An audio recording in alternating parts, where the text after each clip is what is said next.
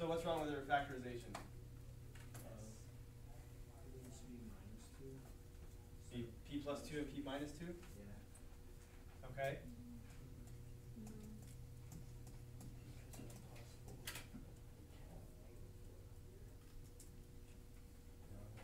See what Brandon's saying? Because you multiply the twos together, you come out with negative four, and it's supposed to be plus four. You can't do it, it's not possible. You see, he's saying, 2 times negative 2 would be negative 4? Yeah? Yes. Chance? You're on board with that? Yeah. So does that one doesn't work out either? Um, why though, um, why isn't her factorization correct?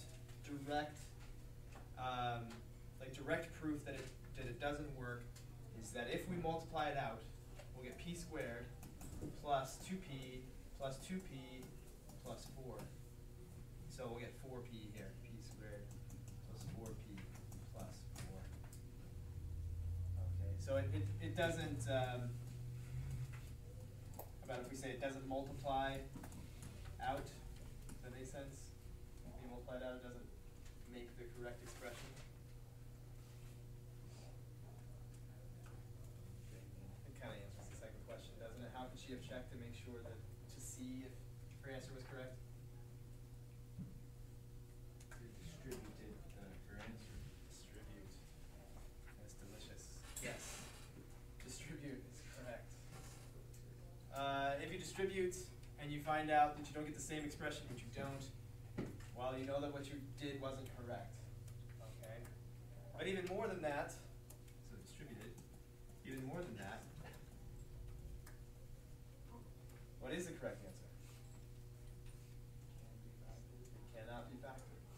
not that many ways to factor 4. 2 and 2 is one of them. 4 and 1's the other one. Neither one of those adds up to 2p when you multiply it out. So we either get, uh, if we use 2 and 2, we get p squared plus 4, p plus 4. If we use 4 and 1, we get p squared plus 5, p plus 4.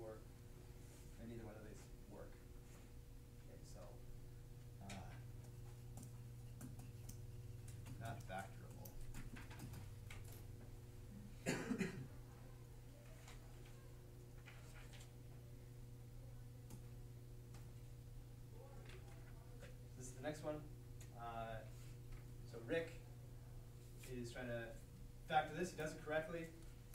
But why is it? Why does Rick rewrite the expression with a zero b? So why don't you write a little response to that? I'll get you those uh, those printouts. Be a little quicker on those. Two here. Oh, I can see the green.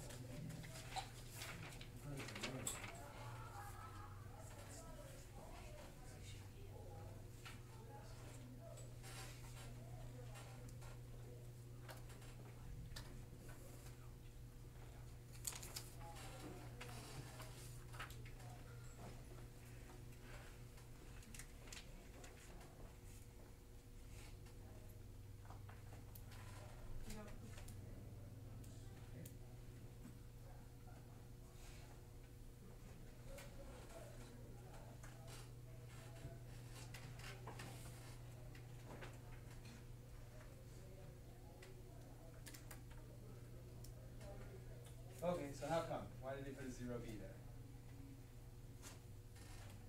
Tyler? So we can get uh, uh, two, uh, two B, and still not and, and don't mess up anything else. Get to B. Yeah, What do you mean? like uh, Do you mean two T O or T W O? TW. Two B. You mean this? Yeah. B squared. Yeah. Okay. So you can get B squared and not mess anything else up. Is that what you said? Yeah, like uh, minusing a one like that. Okay. So you're just kind of showing it for what it is that when he finds the two numbers he's looking for, that they would have to add together to make zero for B. Yeah. It's just kind of. It, it was that already, right? He hasn't messed anything up, like you said. He hasn't changed it. He's just put in a B term that has the correct uh, coefficient. So to see or show maybe that the numbers add to zero. And I, I, I bring this to your attention because a lot of times students will see b squared minus 81 or, or something like that and say, well, how do I do that? Right? There's no b term. There is a b term. It just has a zero in front of it. So the two numbers that we find have to uh, add to zero. Okay. So you might notice something about the two kind, the two factors that you get uh, as a result. So think about that for a second. See if you can come up with three other examples, just like this, with a zero b or a zero x or whatever variable you want to use, that also factor just like this. Okay? So they have no b term. There's a zero b or zero x or whatever, but they still factor like this one does. See if you can come up with three examples. It, I have it open.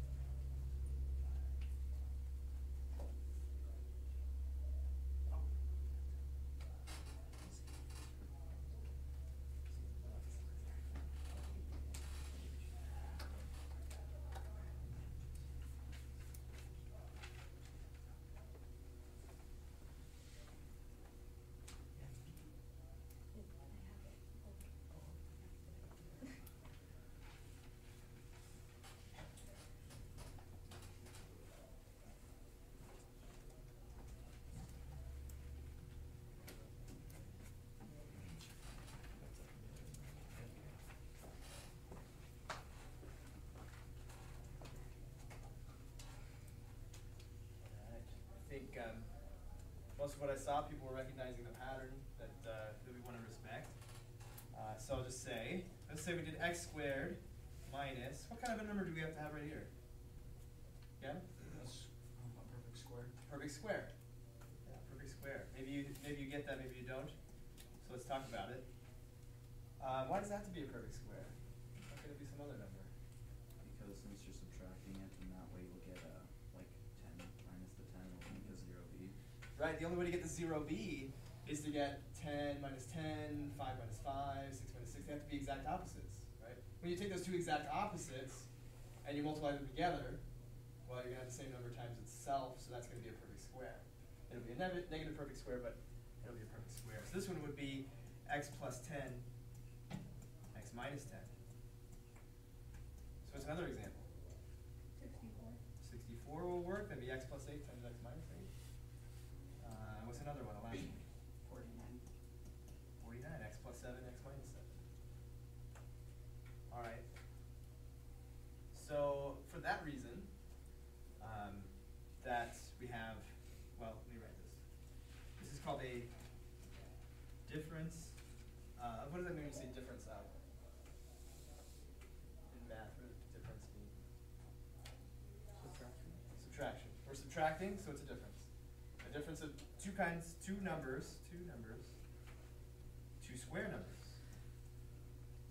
Not only does this have to be a square, we might have, you know, just kind of didn't even notice it, but this would have to be a square too. Because it also has to be this times itself. So this has to be a perfect square, so does this, and it has to be a difference, or at least the pattern we've noticed so far has been a difference of two squares. Let's scroll down. And let's talk about uh, x squared minus seven. Can we use this pattern on x squared minus seven? Why not? Seven is prime. Because what? Seven is, isn't a perfect square. 7 is not a perfect square. Uh, you said it's prime. That too. That, that as well, even if we use the, say, eight. Okay, now it's not prime, but we don't have that It's still problem. not perfect It's square. still not a perfect square. Um, is that really a problem? Is there a number that multiplies by itself to get eight? Yeah. What number is it? 4. No, wait, no, no, no, no. Four times two. Common mistake. Sorry. Four plus itself equals two, or equals eight. But does a number exist?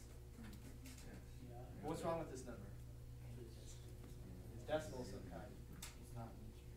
Okay, so like if we were to write the factorization, it would be x plus some decimally number and x minus some decimally number. They'd be exactly the same, right? Yeah. What, what would be this, you know, what would this number be? How would we find this number? By dividing, um, eight. or, you know, wait, no. That would be a, that'd be half of eight. What, what number are we looking for? What's it called? The square root of eight, right? Plus the square root of eight minus the square root of eight. This is a little bit advanced actually, a little bit advanced beyond this section particularly, but we'll run across it later. If we write it as square root of eight and square root of eight, that works too. Because the square root of eight, whatever it is times itself, will be eight. And we'll still get opposites, positive and negative, right, exactly the same thing. They cancel each other out. So squares, we could view eight as a square, the square of the square root of eight. Okay, so here's another idea, another question. What about uh, x squared plus twenty-five? So they're both squares, but it's a sum, it's not a difference. What about that? Does that work? That factor? Why can't it factor? Yeah, Dan? Well, since it's not negative, you just end up with ten for five and five, those would be two positive fives. Two positive fives, is that the only way? Um, I think so. Two negative fives? Oh, yeah. uh, We can use two positive fives or two negative fives, but we can't use the positive and negative that we need for them to cancel each other out when we add. So we either get plus ten x or minus ten x, but either way, it's not gonna work out. We can't get zero x. So there is a difference of squares, difference of two squares, okay, that's why this posted is yellow, yellow. It tells me to tell you about the difference of squares, because we didn't talk about it specifically, because we didn't need to. You don't need to know it's called the difference of squares to factor it. You just need to recognize there's a zero in there. So now we're calling it what it is, calling it by its name, difference of two squares, but there is no nice way to factor a sum of two squares. Right? Obviously, a sum of two squares exists. We can add two squares together, but they don't factor.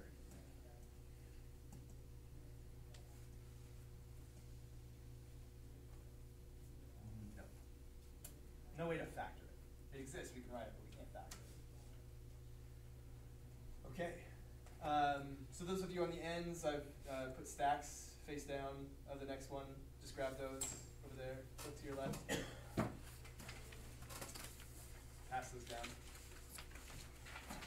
So Carol's doing some factoring. Carol factored this quadratic expression incorrectly. Uh, oh, Carl, not Carol. Carl. I really thought you. That says Carl. his name. Carl. Carl.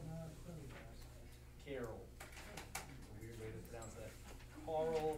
The O is silent there. And it's invisible as well. It's the other way around. It's invisible. You can't see it, but you hear it. It's, it's a ghost.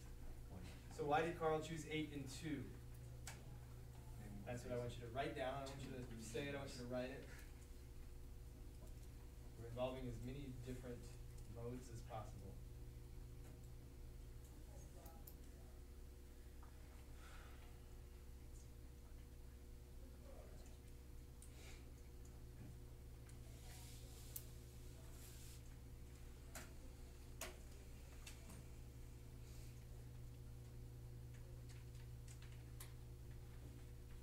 Excuse got a response they're happy with, why did they choose eight and two?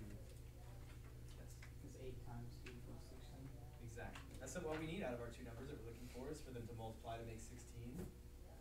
Okay, so very simply, because eight times two is sixteen, that's what we need. Why are eight and two the incorrect choice? See, plus two doesn't equal eight. Say plus two doesn't equal eight. What do we need to add to? Okay, we need four plus four. Okay, so that's not gonna work. X plus four, X plus four. That works because four times four is also sixteen, that's why we would choose those two. Uh, and we would uh, keep those two, I guess, because four plus four is also. Suppose it's also yellow, something, give this, uh, situation a name, it's like a special pattern. Yeah, Gavin? Um, I was gonna say, um, also, instead of writing x plus four in parentheses twice, you could do x plus four in parentheses once with a, yeah, Exactly, that's. square. That's why this has a special name. These happen to be identical factors, we're multiplying together. When we multiply a number by its i- identical twin, right, its copy, we call that a square. Four times four is four squared, seven times seven is seven squared, ten times ten squared, right? So x plus four times x plus four is x plus four squared, type this up. Because that happens, this has a special name and it starts, the name starts with perfect square. Right, this thing's called a perfect square, why is it called a perfect square? Because when you factor it, it's a perfect square. And the next part comes from what it is, like a number can be a perfect square, lots of things can be a perfect square. This is a perfect square in the form of a trinomial. What's tri? Three. What's nomial? Numbers. Three numbers. Number, number, number. A, a uh, quadratic or polynomial that's three terms, x squared plus eight x plus sixteen, or whatever three terms they are. It's called a trinomial. Uh, to drive it home, this is a trinomial. So what's this? A binomial, right? Two nomials. Two nomials. What's this? The guy right here. This one guy. Monomial. Monomial. Mono, meaning one. Right? Monotone. Somebody talks with one tone. They don't have any inflection whatsoever. Uh, monotheistic. Belief in one, one God. Mono, what? Mono in stereo. Stereo is both speakers. Mono is just one speaker. Uh, so, if you can think of any other examples of mono, you can just throw them out there. But those are the three I can think of. Mono, mono. Mono and mono. Somebody brought that up. I think that might be right. I always thought it was Spanish. man on man, like man and man fighting. Well, that's like- right. I've never looked it up. Maybe but- it's got a Mono double is- meaning. Mono is Spanish for hand, so. Oh, hand on hand, maybe Yeah. hand to hand combat. Yeah. That could be it too. Uh, it depends on how it's spelled. Mono for mono, Is. or for monomial is M O N O. And I don't know. That- that- So, but maybe it means one on one. I don't know. I've never actually seen it Double written. meaning. It's one of those things I've never seen written down, so I don't know. One on one. Uno on uno.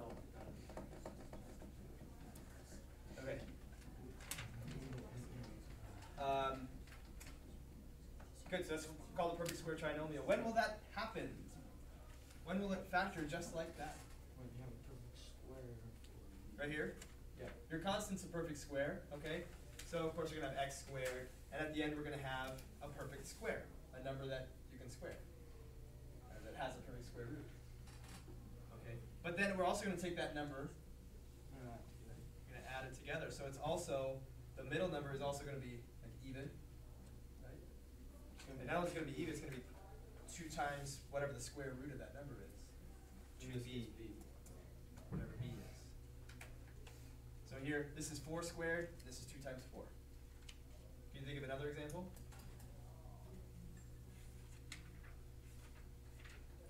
How about we'll go out to the end, what's a perfect square? Thirty-six. Thirty-six. So what would this guy be? Six.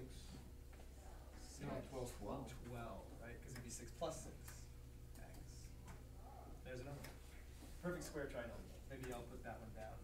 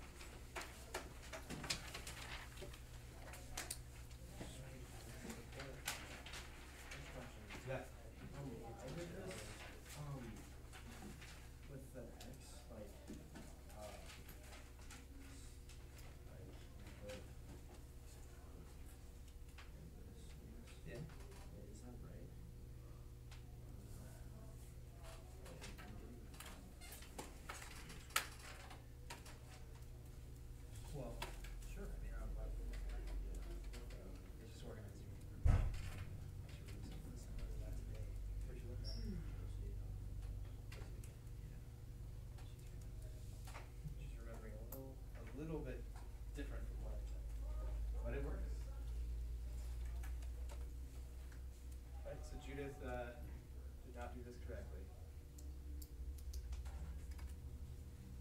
Now remember, the answer that's gonna come to me has to consider solutions, the word solutions, remember we've talked about it quite a few times, it means something specific, so when we say, why are the solutions incorrect? It needs to take that into consideration, so why are her solutions incorrect? Daniel? Uh, because she would have to do W minus twelve equals zero, she would have set it to zero first. Mm, Or she could Well, set- so, um, to find the correct solution, she should have really set that equal to zero and then found that W is a positive twelve. Yes, yes, that's how we would find the correct solutions. But how do I know W can't be negative twelve? I'm harping on the definition of solution. Negative twelve minus twelve is not zero. Yes, When you plug okay. in the whole thing on the one side comes out to zero. So that's saying that you know that this should be zero? Yeah. Okay, that's say that's good enough. It's sound reasoning. But that means that like also saying we know something else. What's the solution? What are her solutions? What is she saying the solutions are?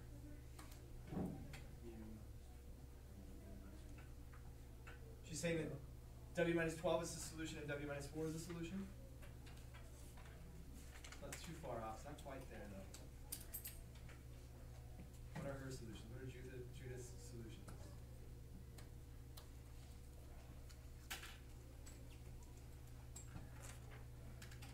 Twelve and negative four.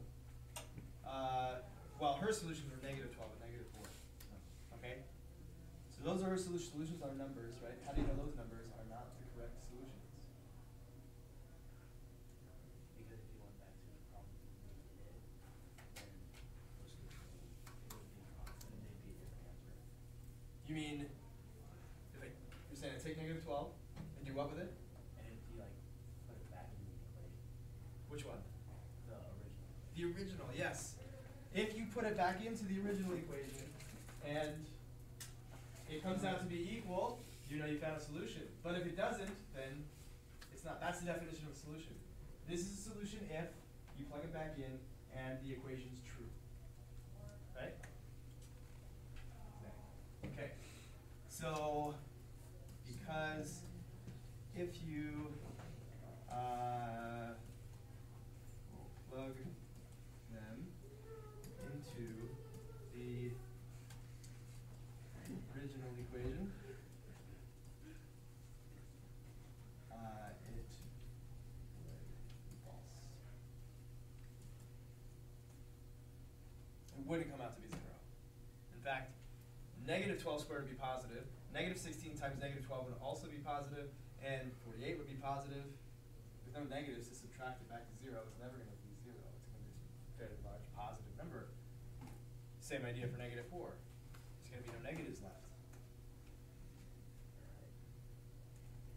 So, how do you know a solution when you see one?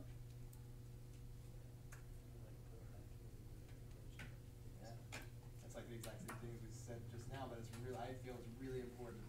And since I feel it's really important, that means it's really important, uh, that you know what solution means, so, uh,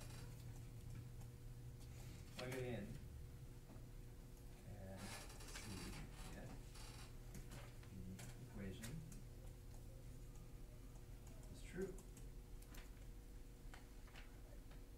And then Daniel pointed out to us, if you want to find the correct solution, what you should have done is set this equal to zero and then solve that equation. And so W would be positive. Very common mistake, one of the most common mistakes, just saying, this is the solution and this is the solution. Okay? Makes it very clear that you do not understand that this needs to be zero and this needs to be zero. I shouldn't say and, I should say this needs to be zero or this needs to be zero. It can't both be zero at the same time. That makes sense.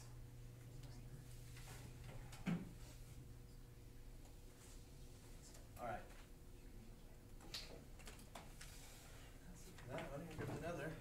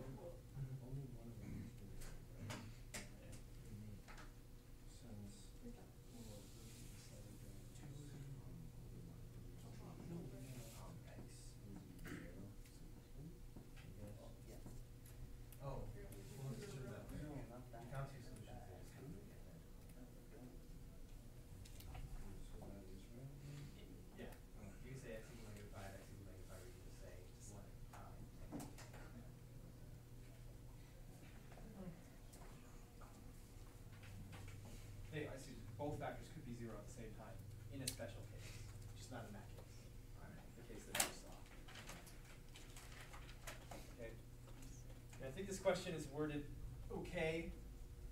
Um, it's kind of a hard question to ask. Got into a bit of a scuffle in the previous class. Got mano a mano for a second. Gordon. Gordon. God. Let's argue math, math. Yeah, Gordon was right. Shouldn't you use subtractive instead? Ooh, Because eight times for probably what they argue plus though. two. Um, well, the first thing we're gonna talk about is why is it incorrect to have the quadratic expression equal to eighty or this equal to eighty? My bad.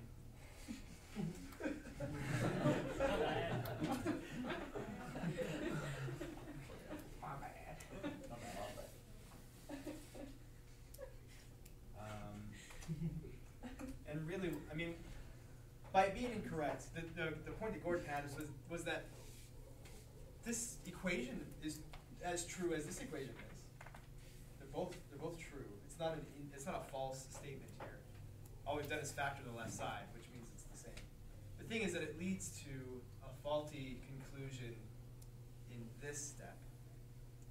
Leads to a, a false statement in the next step. I guess.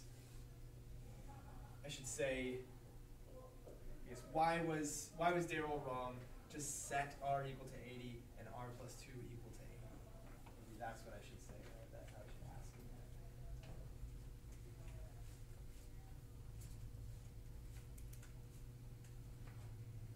I'll change it for tomorrow. Why is that? Why why can you not set r equal to eighty? I mean that's kind of what we do in the other examples, isn't it? Uh, just talked about this, set that equal to zero, right? That's what's over here on the right side, set it equal to zero, what's the big deal? If we set it equal to eighty instead of zero. Can anyone express why setting that equal to, r equal to eighty? Well, factoring just doesn't work unless it's equal to zero. Yes, yes, why is that? Um, because, uh, the point of factoring is to get it to that, uh, little, I think it's a quadratic equation. Well, it's The- quadratic from the start, quadratic means we have Okay. squared. Yeah, okay. But to get it down into the r Factor plus form. whatever is equal to r plus whatever, or times, sorry. Times, to, to have it be Um, something times something, okay. You can't do that when it's equal to anything other than zero. Well, I just did Or it, right? we- It's r times, it's like r plus Well, zero. It's a lot more complex and it's a lot harder and easier to get messed, uh, mixed up. I think you're right, I think it's tough maybe to express it, right? Well, he got to this step, similar to Daryl, getting to this step, getting equal to zero, and then setting each factor equal to zero, or sorry, Judith, Judith doing this, and, uh, what's that? This person's Daryl. This person is Daryl. Daryl sets r equal to 80 and r plus 2 equal to 80, and that looks a lot like what you do in other equations when you're setting it equal to 0. Why can't you set each thing equal to 80? Can't you do that? Yeah? R times the, what's in the parentheses, R plus two is equal to eighty, not the separate things. Well, can't I just say that about this one too? But isn't it because like, unless you're multiplying by zero, when you put zero, I try, I know what I wanna Keep say, going, but I keep can't going. say it. When, unless if you're multiplying by zero, it's not gonna affect the final number. Like, the number will still be the same unless you multiply by zero. And Still be the same? It's like, zero, zero's not gonna affect twelve in any way. Unless you're multiplying it. Because it's not like twelve, it's not like zero's gonna make twelve go up or down. But if you set it equal to eighty, eighty's gonna change it. Okay. Um, I think you've got, you have to have, you're talking about multiplying by 0, right? Well, yeah, but that's the only time it's gonna affect it, that's the only time it's gonna change the outcome you're you talking about right here? Are you talking about this? Yeah, just in that those. Or you're not talking about up here? No, no, exactly, like that, that whole problem in general, Uh-huh. that's what I'm getting at, I just use twelve as an as an example. Okay. out of that problem. Alright, I think you're the closest so far, because we're talking about multiplying by zero, which is really important. Like if you try to multiply one of each of the sides like on R by eighty, like you do with the zero, Uh-huh. it doesn't work because you can't. Like, cause anything times zero is zero, but anything times eighty isn't eighty. Ah, mm. Yeah. See what she's saying? See- That's what Like, you're I don't know, I was like seriously trying to just, not like that exact thing, but trying to get it out there, like, if you mess with like, like, anything by zero is either gonna be zero or an original number, but if you like, add eighty or multiply by eighty, it's gonna change that original Okay. number. Uh-huh. But if we multiply by zero, you're saying if we multiply by zero, we might wind up with the original number? No, no, like anytime you use, like if you multiply by zero, it's gonna be zero, but if you add by zero, it's still gonna be that original. number. Ah, okay, okay. So zero, if you use it, in multiplication, you get zero when you multiply. If you add by zero, you get the original number. The important thing is, is the multiplying by zero. So, uh, Keenan and, and Jade, uh, joining forces to, to inform us. It's, if you multiply by zero, then you always will get zero. But if you multiply by eighty, it doesn't mean you're gonna get eighty. You're gonna get a bigger number. Yeah, un- unless this is one, then you could get eighty, but you won't guarantee, you're not guaranteed to get eighty. No. But you are guaranteed, if you multiply by zero, to get zero. That's why we set it equal to zero, because there's a guarantee there. There's a guarantee that if I multiplied two numbers together, this one by this one, and I got zero, it had to be that one of them was zero. Not both of them at the same time necessarily, but this one or this one has to be zero.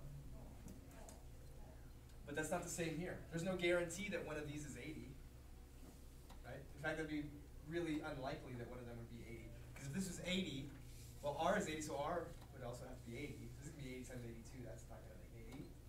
And if R plus 2 is 80, then um, this would be 78. 78 times 80 isn't going to be 80. Right? Uh, so that's that just doesn't work out. So it's about that guarantee, like that absolute truth that if you multiply two numbers to get zero, then you must have multiplied by zero. One of them had to be zero. Okay. So um, because there is no guarantee. I don't know how to spell guarantee, guys. I'll just be honest with you. I always spell this wrong. You're wrong. How do you spell guarantee? Is it A? It's A, isn't it? Is it G U? G U A R A N. Are you sure? What the? Pretty sure Are you there's sure no A it's after the G? U. It- I thought it was. I'm pretty. Guarantee. Guarantee. I got It's spell not check. It's spell check up. I got spell check. There's no A after the U. Uh, It's glare. R equals eighty It equals was R silent. plus two equals eighty. Right? Just pick either word.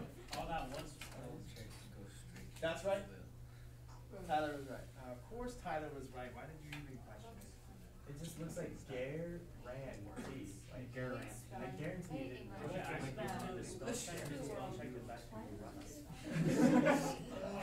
I like English, I just hate arms. All right, Aaron, ready? Come on now. Let's settle down. So what should it be equal to? Not eighty. Zero. And we get why that's I important? hate Brandon. Because if you multiply to get zero, you have to multiply by zero.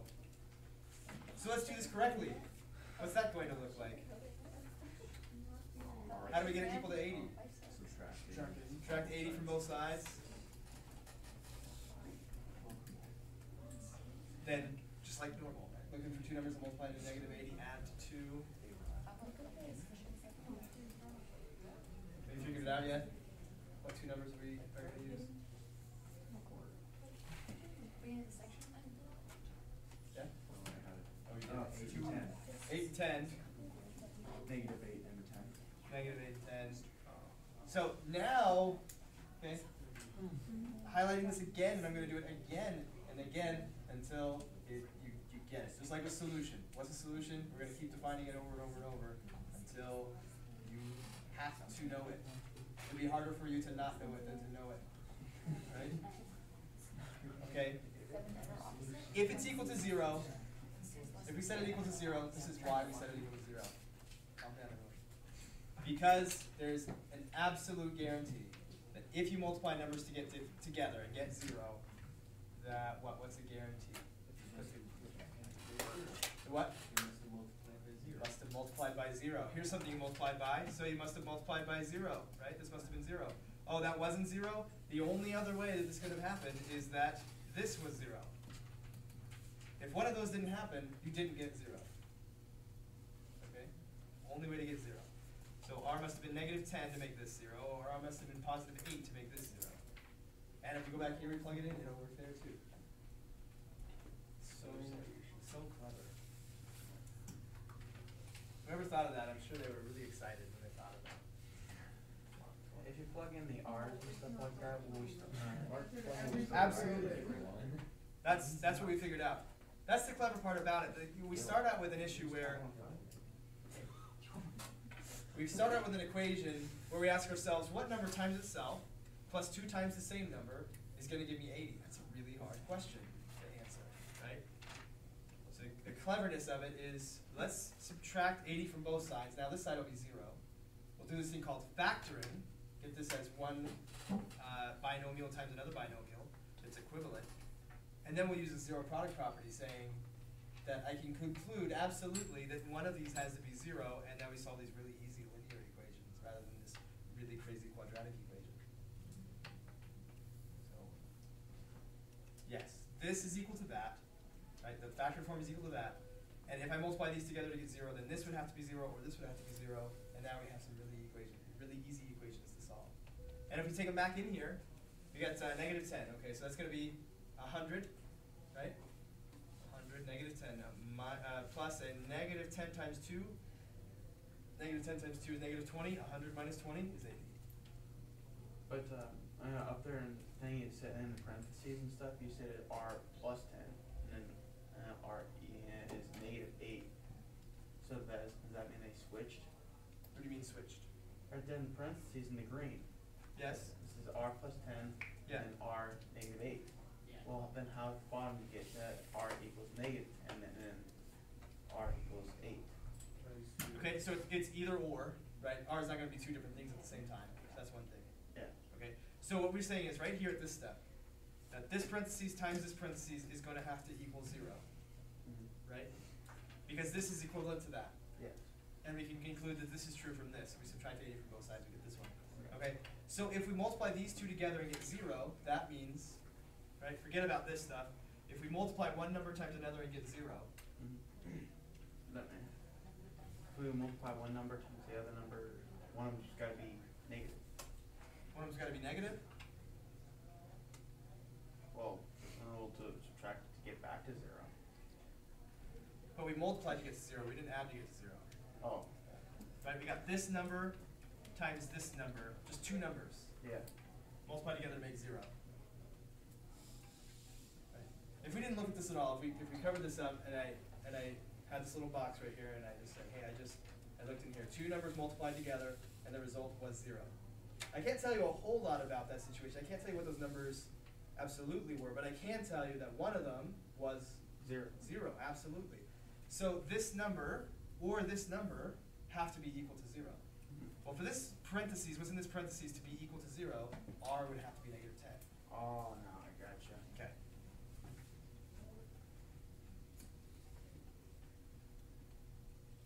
Here's the last one. That's like the last one. So Carol did her work correctly. Now Carol's, now Carol's part of the problem.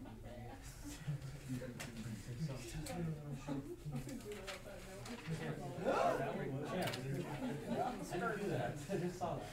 Do you see the, that one just now, or did it wasn't just then? Did you see the one I showed here? No, just not. It was so good. How do you do that? It over its face. You just, you just make the air in your mouth really hot. Oh, It steams up and it looks like smoke. It's so good. Have you seen anyone do that? Warm up that air in your mouth and blow it out. What? Smoke, it's so good. It's Heat really up hard what? to do though. Heat it up with what? Just your mouth. I'm confused with I- what I you're saying. don't- What did you say, Chance? Go What Chance, did go. you say? What did you say? I think we should just have a minute of pause to watch it out there. Is that- We're gonna do every minute in here is math. Oh. And Chance can do math and that at the same time. He's bonus. but no one else may look at him. You may look at your papers and take notes. Oh, that's a cool sentence, Joe, I didn't know that.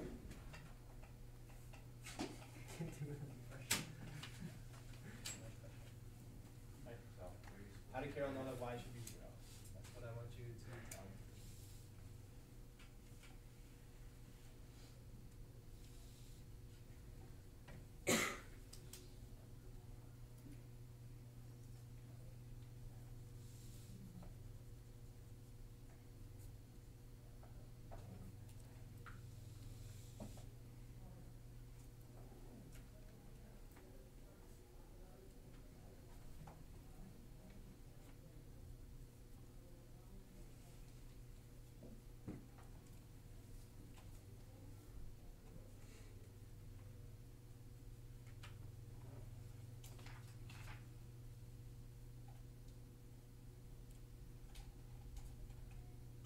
Okay, this question is probably a little challenging because, uh, just like with the other yellow stickies on the previous slides, um, some kind of new information, but not information you needed to do the work.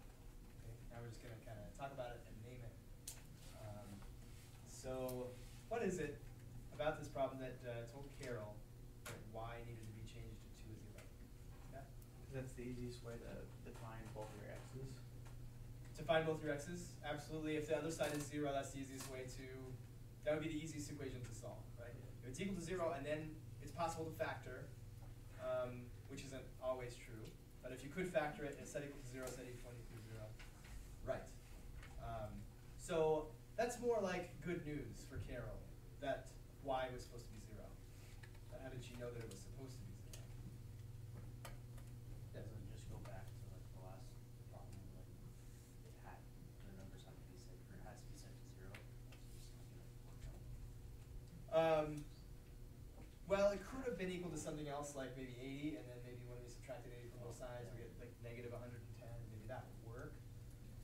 Um, so how do you know? How do we know it was? How do we zero maybe not that y was negative?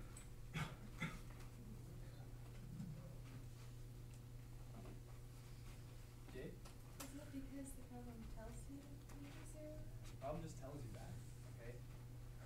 And so, the thing that I want to reiterate, I reiterate solution, I'm reiterating um, the zero product property, that you multiply two numbers together, two things together and get zero, one of them had to be zero. I also reiterate function, what a function is, okay? And the value of a function, and all this stuff about function. So let's review again, what is a function? You plug in numbers and get them out. input and output, right? With a little bit of a caveat on that, that for every input, there's only one output. For every input, there's exactly one output, meaning not zero outputs and not two outputs or three or four, but exactly one.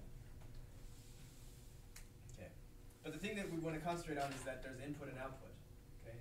The, value of a function, the worth of a function, the purpose of a function is to get outputs that you can put stuff into it is not a unique fact, uh, or a unique uh, property of, a, of that function. Lots of functions take numbers in, zero, one, two, three, four, five, go into functions. The things that make functions different is how they handle those inputs and what they put out, okay? So, the zero of a function, zero of a function is what you put in to get out zero. Um, so the zero of a function is when a function is zero. And a function is its output. That is what a function is. So when a function is zero, uh, the process for, for finding the zeros would be actually the numbers that cause you to get zero. Does that make sense? So when the function is zero, which means y is what did it take to make that happen? Now that's not a really different problem from all the other problems we've done. It's always, you know, equals zero, factor the thing, set each factor equal to zero, solve those linear equations. Um, just that little piece uh, was a, a little bit extra. So if you came along those problems in the homework and you saw zeros of the function, I'm not sure what that means. I don't, I don't blame you, because we didn't talk about it explicitly. Um, but it wouldn't have been too hard to figure out, like, it's supposed to be equal to zero, and I solved for x. Same thing. So the directions tell him that.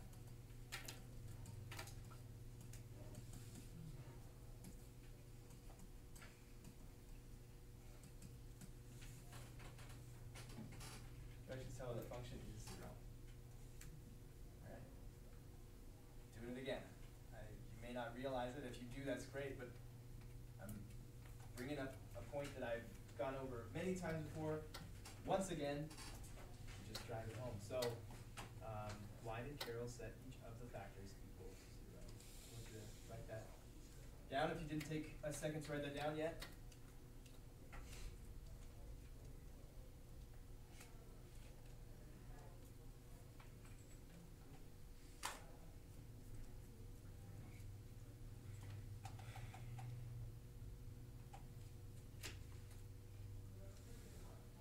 Tyler, do you think you can Why did she, she's got, she's at this step right here, she factored it Yeah. correctly, and her next step is just to, Put zero. to, to make it equal to zero. Why can't she do that? I mean, you can't just do that for no reason. What reasoning got her from this step to this step? Um, like, uh, reasoning why she made him put zeros in there for X. Well, she's not putting zeros in for x, she's, she's putting zero in for this whole thing, right? She's making that whole thing equal to zero. Why can't she say that? Why couldn't she just take that factor and set it equal to zero? Um, cause don't want, cause won't make it guaranteed, it's not guaranteed. Is it not guaranteed or it is guaranteed? Well, if you put in zero, then it is guaranteed that your, that your answer is gonna equal zero. That's it, yeah. If you put zero in here, it's guaranteed you'll get zero, okay? And I'd say that's like, that's half it, right? There's, um, if this, then that? If this thing happens, then this thing happens. If it rains, the ground gets wet, okay? But does it work the other way? If the ground is wet, does that mean that it did rain? No. Maybe, no, maybe the sprinklers were on, right? But if it rains, it will, the ground will get wet, provided there's nothing covering the ground. Okay, well, okay, so if it rains, the ground will get wet. If this is zero, you will get zero. Does the implication go the other way? Sometimes it does. If you get zero, does that mean this had to be zero? No. Only one of those. Okay, so this has to be zero, or this has to be zero, so that includes everything. So that's guaranteed, right? If this is zero or this is zero, I'll get zero. If I got zero, then this is zero or this is zero. The implication goes the other way too. So that's why, because she got zero, she knows that this would have to be zero or, or this would have to be zero. So x is negative ten or x is three. Why? It's called the zero product property. State it for you now as, as short and concise as I possibly can. A, B equals zero. If that happens, if A times B equals zero, then A equals zero or B equals zero. And maybe they're both zero, but they don't have to both be zero. Just one of them does. Okay, are there any questions from this quiz at all, or from any part of the homework? Oh, no, sixty-five on the board. Sixty-five on the homework.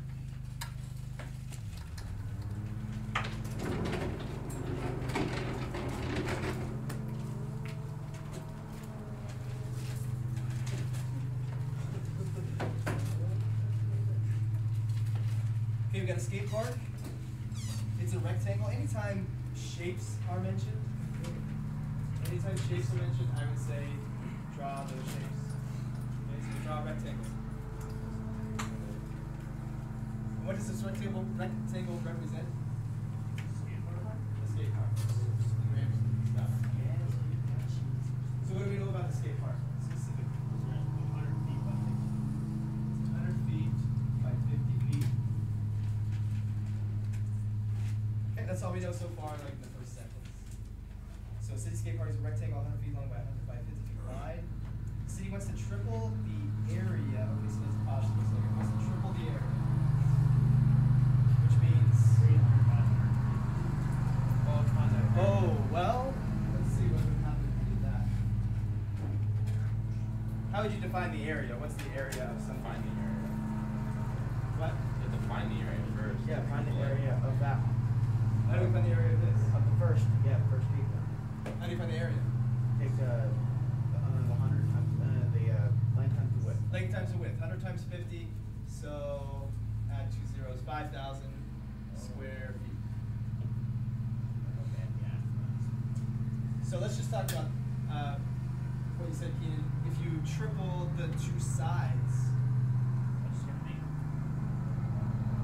is it, is that gonna triple the area? To make each side three times longer, it seems like it would. If you think about it, you're saying no, and I, I believe you. Yeah. right? So that's a hundred, and that's another hundred. Just gonna make it.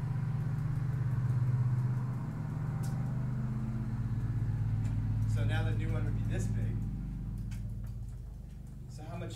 area would that be? More than three. Six. Well, this is 100 by 50.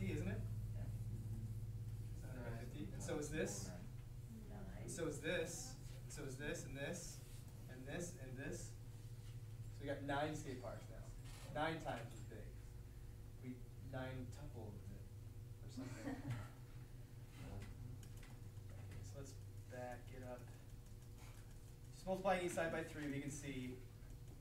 We multiplied each side by three, and we got nine times the area. Right, three times three.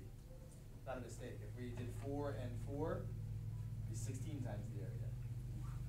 Okay. But they want to triple the area, which means they want the, the area to be how much? Fifteen thousand. Fifteen, right? The old one's five thousand, so the new one would be fifteen thousand. Oh, I okay. Old's five thousand. We then want the new one to be fifteen thousand. You see how I haven't read the whole problem, but I have a lot of information written down, drawn in a picture. Uh, I've even eliminated ideas, multiplying each side by three. Um, triple the area. Um, and how are they gonna do that? By, I mean, they, they could do it by making it into a circle instead of a rectangle, they could do, uh, you know, just add a bunch of concrete this direction or a bunch this way, but what they're gonna do is add the same distance x to the length and the width.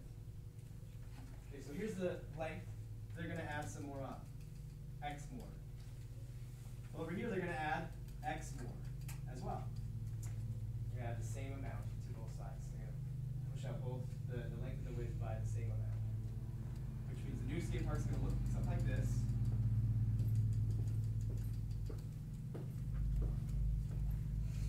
Do you remember at the beginning of the year, we talked about something almost exactly like this?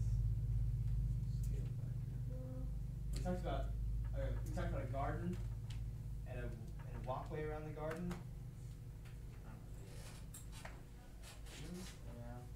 How I said, like, bet you at the beginning of this section, does it have the guy skateboarding at the beginning of the section? Yeah. Oh, no, it doesn't. Uh, but you can, you can read it, the- this just makes me laugh. At the beginning of the section, if you, if you look at the picture these, these ladies at a potluck, it looks like, and, uh, so it says, before you graph quadratic functions, now you'll solve quadratic equations. Why? So you can double the area of a picnic site. That, I'm sold, right? I wanna do this now. Because I can double the area of a picnic site. And triple the area of a, of a, of a skate park, it's the same thing. Right? Solving quadratic equations is not like having a picnic, and it's not like skateboarding. It's a, it's like this made-up example that we hope as math teachers and math textbook writers to like pull you in. Okay? Because I said the word skateboard or skate park. Now you, I gotcha. Which is really not, not usually true. So I don't love this example, but it does create a quadratic equation that we can solve. That, that is the point of it. And I want to see if you can translate words into equations. Um, makes me laugh, but at the same time, you know, it, it is a, a real, world, real world representation of, of the things we're doing. Anyway, let's see. So write and solve an equation to find the value of x. One of the new dimensions of the skate. So once we find x, we, have, we won't actually know the dimensions. We'll have to add all together. Okay, so we want to get 15,000 square feet. So how are we how do we get that fifteen thousand square feet? How do we get the area of the new skate park? How do we find the area of the old skate park, Tyler? Uh, length times width. Length times width. Is it any different for the new skate park? Length times width? Just the length and width change a lot. Length and width are gonna be longer. Well, we just, to find the area of a rectangle, we just do length times width, right? Yeah. So what's this length, or width, whatever you wanna call this? What's that? Fifty plus x. 50, 50, 0, plus x. That's the length, or the, the measure of the stated width. We're gonna multiply that by the length. How long is the length? hundred plus x. When we multiply those two together, we need to get fifteen thousand. Does that look kind of familiar? Just like, like two quadratic factors, two linear factors that multiply and make a quadratic. Alright, equals fifteen thousand. Is that gonna work? And I said this equals fifteen thousand, this equals fifteen thousand, solve for x. I hope everyone says no. No. They just, no, that doesn't work. Can we change fifteen thousand to zero? Gotta change it to zero, how can we get the side to be zero? Subtract. Subtract fifteen thousand, okay, so now we've got fifty plus x times hundred plus x minus fifteen thousand equals zero. That's good, the other side is zero. The only thing is, at this stage, when we have it equal to zero, we usually have like this quadratic expression with an x squared and an x term and a constant, and refactor it. But this doesn't work. Like, we can't set this equal to 0 and this equal to 0 because we're also subtracting 15,000.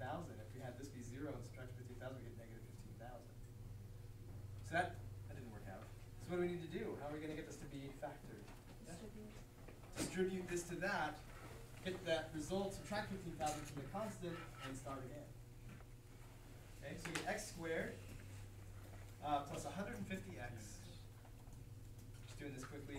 plus five thousand, hundred 100 times fifty, five thousand, minus fifteen thousand, equals zero, so you just do five thousand on fifteen thousand. X squared plus one fifty x minus ten thousand equals zero. Now we just have a new equation that we need to, or a new, uh, expression that we need to factor. Numbers are big, but they're not unmanageable. X and X, you can multiply to make negative ten thousand and add to hundred and fifty.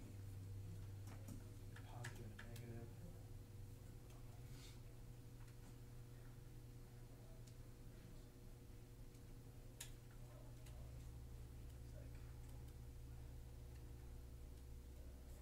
Two numbers will multiply to make ten thousand. They're have to be pretty, like, one, what's that? Yeah, two hundred and fifty. Two hundred times fifty? Two hundred times fifty, it makes ten thousand. Yeah. Uh, if we do two hundred and negative fifty, it adds to one fifty.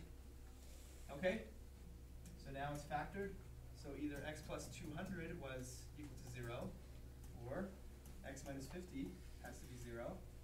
No other possibility. so x is either negative two hundred, or x equals fifty.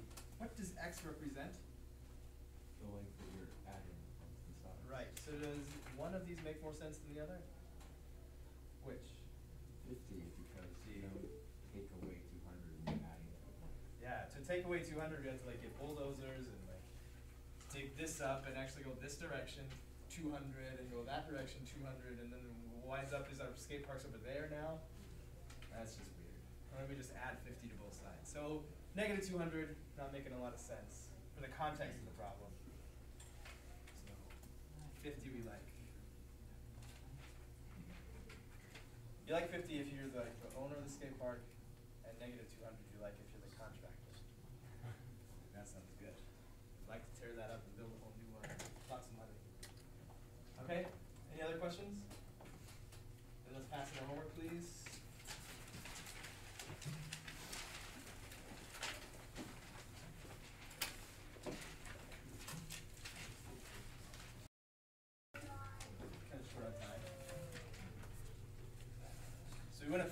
This just like we were factoring things before. But how's this different from the other things we've been factoring? So seven x squared. Seven x squared. What has it been before? So what number was multiplied by x squared in the previous? Oh. One. One. One times x squared. Now we have a times x squared, right, where a is not one. Okay. How do we factor it? Here's three ideas that I see most often. Okay, we see that we have seven. So true to form as before, right? Like we had an x, so we put an x and an x, a seven x and a seven x. Okay, so there's there's one idea to start us off. Here's another one. Uh, yeah, like this. Then we're gonna find those other two numbers that we need. And here's another one. Let's go through each of them. What do you think? Is this gonna work or not work? No. Why not? Forty-nine. Forty-nine x squared, not seven x squared. We have to do the seven times the seven. Okay, so that's not gonna work. How about this one? Not as obvious. Why not? If you distribute the seven into the three, the twenty and the three, then it won't come out. Right.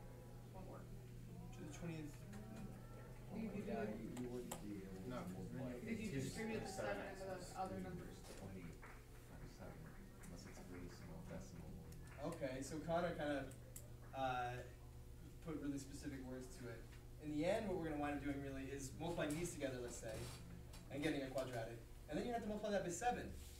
But what you have to get is this. Uh, and, okay, you could get an x squared times 7 would be 7x squared, but what are you going to multiply by 7 by to get negative 20? Something weird. And to get 3, also something weird. Okay? So, no, we don't like that unless we want to make a really difficult problem.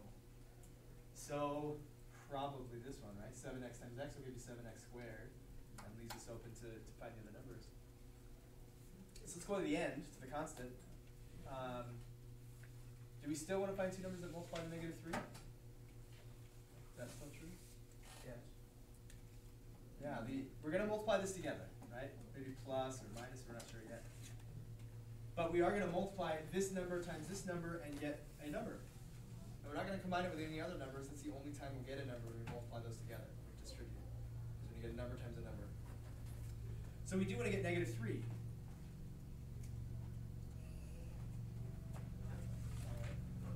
Um, but here's the problem, we could put, um, three and negative one, Or, That won't work. why not? because it won't go into twenty, negative twenty. Doesn't add anything. What doesn't? How do we, how are we supposed to get that negative twenty? Is it three minus one? Let's talk about that first. Do we just do three minus one to get twenty? No. Why not?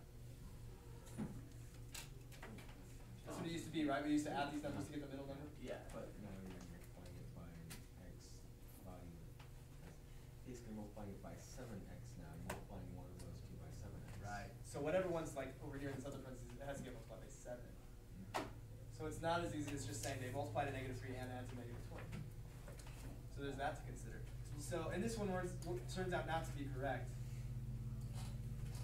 Here's what we're faced with. Either this could be a positive three and this a negative hmm. one, or this a negative three and this a positive one, or this a positive one and this a negative three, or this a negative one and a positive three. Four different possibilities with the positive and negative. And each of these is gonna be different, do you agree? Yes. Because, because in this scenario, negative one will get multiplied by seven, and this one will get multiplied by seven, this one negative three will get multiplied by seven, three will get multiplied by seven. They're all gonna be different. Okay. These two are gonna return something really similar, and these will return something very similar, but they'll all be unique, they'll all be different. So we're left without any other ideas, just keep trying it until it works, right? Try this one, no, that didn't, try that one, try that one, try that one. If we're really unlucky, we'll have to do this four times. If you're unlucky, you only do it once. If you're really lucky, but on average, if you do lots of these, you're not gonna be lucky every time. And you could, you could apply some thought to it before you try but really you're just gonna be guessing really, like guessing and checking really quickly in your head. So you know what it needs to do, and you just have to do it and see if it works. Okay, so let's just give it a try. We'll put three and negative one there. Well, we get three x and negative seven x. That's not negative twenty x, that's negative four. So we'll just change the signs, because the numbers are already written there. So negative three positive one. I guess it'd be positive seven x and negative three x. It's similar, but it's it's different, right? Of negative four x, you get positive four x. So that's one thing. Like, if if you didn't get the right number, like you didn't get twenty, switching the signs isn't going to make it negative twenty. Only if you get positive twenty, switching the signs will make it negative twenty. Okay. So that's one thing that makes the guesses, you know, take fewer guesses. If you don't get the right number, right, without talking about the sign, if you don't get the right number, then switching the signs is not going to give you the right answer. It's going to change just the sign of the, the middle term.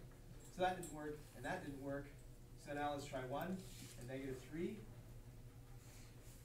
We get 1x and negative 21x. Um, uh, we add those to get negative 21 plus 1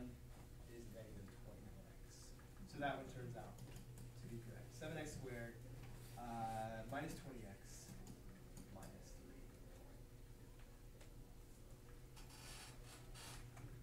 So doing that, wait, right there, you're just doing FOIL, uh, FOIL right there. Doing Distributive that. property.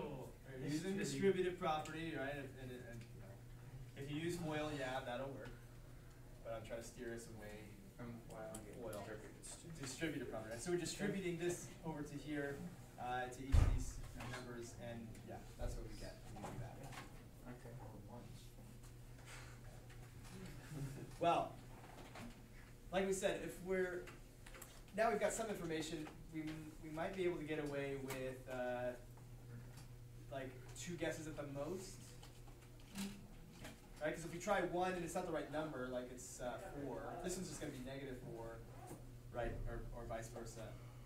Okay, so if I try one I just get four, well, switching the signs isn't going to change that. So I'll just move on to one of the other ones where we actually have different numbers. And if I tried this one, I would have got positive 20. I know switching the signs would me negative 20. So if I tried uh, this one and it wasn't the right number, I would just, that would be one guess, and then I move to the next guess. If it's right, it's right. If it's not, I know the other one right. Okay. Well, that, I mean, that was a really choice situation to be in. There is only one way to factor 7. What if it was 6? Then there's 6 and 1, then there's 2 and 3. Right? There's two ways to factor it. Or what if it was something that had more factorizations? Uh, we come over here, 3. There's only one way to factor 3. But because it was negative, it made four different scenarios. We had to try four of them. Um, so that's four different guesses in a in an easy situation. What about a situation like this?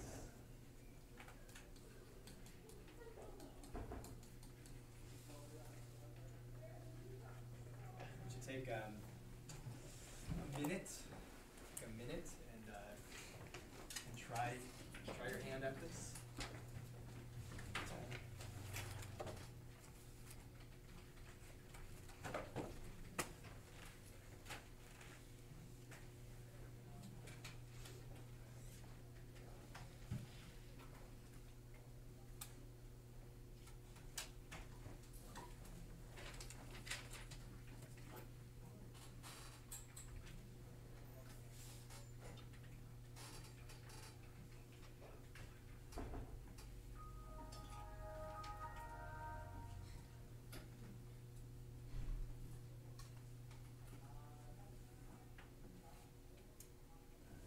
I call that a minute. Might be a little bit less, but all right.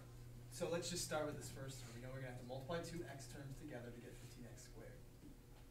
So that could look um, like 15x and x. That gives us 15x squared.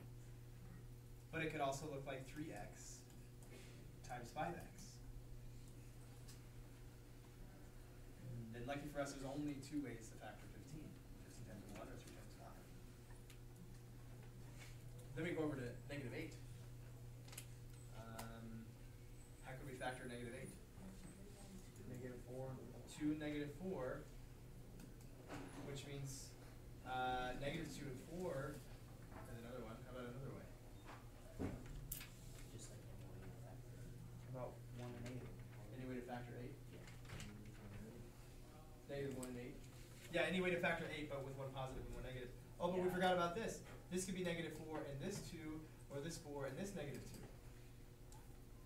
And or, Oh, you did. right? Cause if all- we switch the parentheses they're in, that makes a different, Oh, yeah. makes it different. We multiply it all the way out, it makes it different. And those numbers right can also work on those ones too. Yeah, that's the thing, we have to come over here and do the same thing. Uh, here we could do, uh, one and negative eight, negative one and positive eight, uh, eight and negative one, or negative eight and positive one. Cause when we switch the numbers or we switch the signs, that makes a different quadratic, because this, a different number is getting multiplied by fifteen. Same we're over here. If none of those worked, which was eight guesses, we have to start in on this.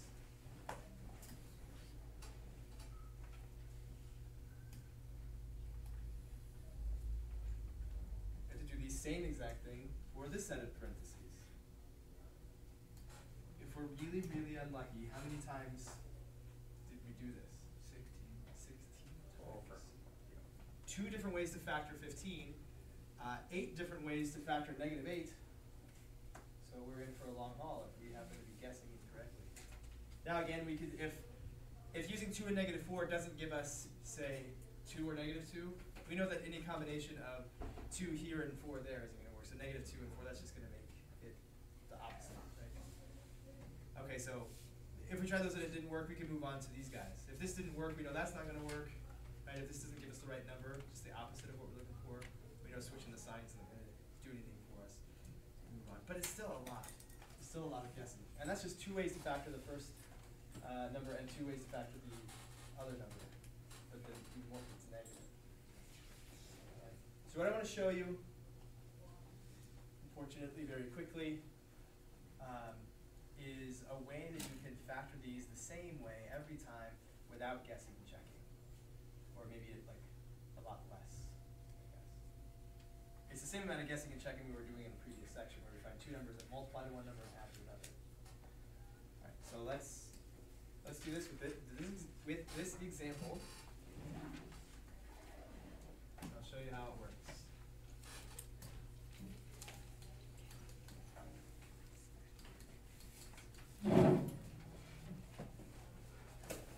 Okay. So I call this the AC method. I'll show you why. Okay, we're factoring this kind of a quadratic. Where we have a number in front of x squared, a number in front of x, and a number in front of c, where this is not one. Call it the AC method because here's what we do.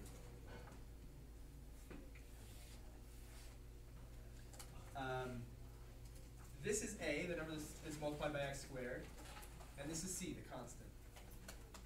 so up here, we're gonna write a times c, whatever a times c is. What's a? And what's c? What's fifteen times negative eight?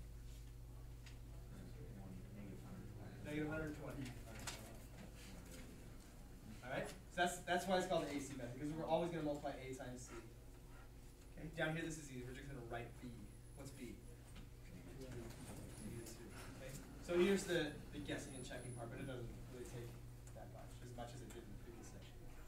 two numbers that multiply to make a negative 120, but add to make negative 2.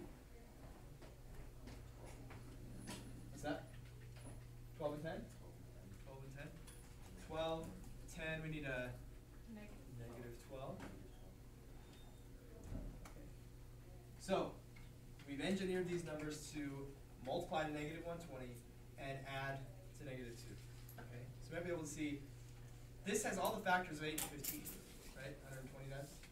factors multiplied together into one big number. Right, and they add to negative two, so these guys are they also have factors of fifteen and of eight, right, which is kinda like split differently. So what we're gonna do is, uh, is this could be written as negative two x or it could be written as negative twelve x plus ten x. Squiggly brackets. That's what we're gonna do, we're gonna write it as fifteen x squared minus twelve x plus ten x minus eight. So all this work that we did was just to find how to split up negative two x, just right. And it really, it won't matter if we do negative twelve x plus ten x or ten x minus twelve x, it'll all work out the same. And what we're gonna do now is called factor by grouping, we're just gonna group them. Group of two, and the other group of two. Shoot. So look at this guy here, these two group, this group of two. Can we factor something? do these have a common factor among them? Three. Three and, and also x. How about three and x? So if I write five x minus four, distribute, comes up with the same thing, We only have four point four, right? Sorry. just four point four. Okay, agreed, if I distribute the three x, we get the same as that, okay? Do the same thing in the other group, what does it have in common? Two, just two. So we get five x minus four, what do you notice? Same. Got the same thing. Okay? So here is a number and here is a number. They're factors because they're multiplied. This is a factor and this is a factor.